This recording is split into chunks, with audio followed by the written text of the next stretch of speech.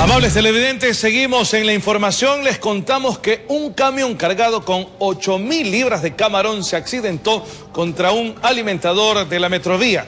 El percance se produjo en el ingreso principal de la parroquia Pascuales al norte de la ciudad de Guayaquil. Afortunadamente no se registraron víctimas. Veamos la nota. El camión cargado con ocho gavetas pretendió salir desde una estación de combustible ubicada en el ingreso hacia Pascuales. Según testigos, el conductor aplicó mucha velocidad y eso lo llevó a perder el equilibrio.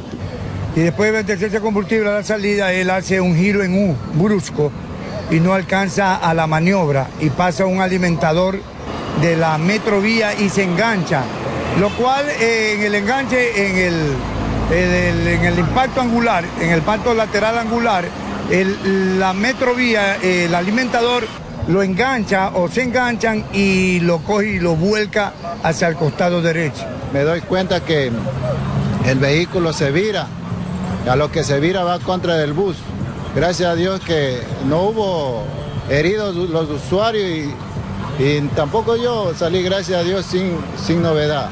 Debido al golpe, las ocho cajas con capacidad para mil libras de camarón cada una se destaparon derramando el producto sobre la calzada. Eso atrajo la atención de transeúntes y comerciantes informales del sector. Lo que sí era la gaveta, las tapas se destaparon, el producto de los camarones se derramó en la calzada y la gente aprovechó.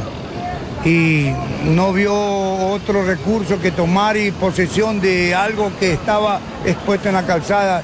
Ambos vehículos fueron trasladados hasta el canchón a fin de continuar con las pericias respectivas. Sí, lo que pasa es que quería ganar el, el, el carro que venía por acá a la derecha. Informó José Morales.